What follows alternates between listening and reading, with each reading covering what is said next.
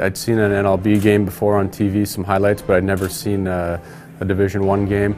Um, so I, you know, you underestimate your opponent. You, you don't know what to expect, but uh, all in all, uh, you know, they uh, was, they gave us a great uh, great game and a great experience.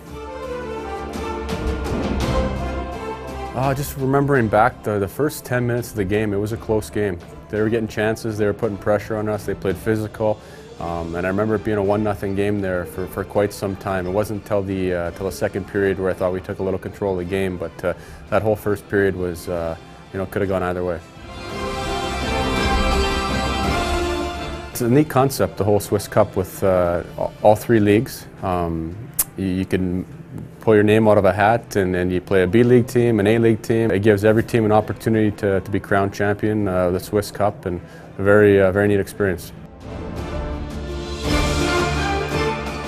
Yeah, I think when walking into the uh, to the arena, it, uh, it reminded me of I was a kid playing uh, at a rink that you know was somewhat outdoors, no sides, um, the net on the side, uh, just just different experience, and it brought me back to you know when I was 10 years old again, uh, playing that kind of a game, especially at nighttime. It felt like uh, almost like an outdoor game.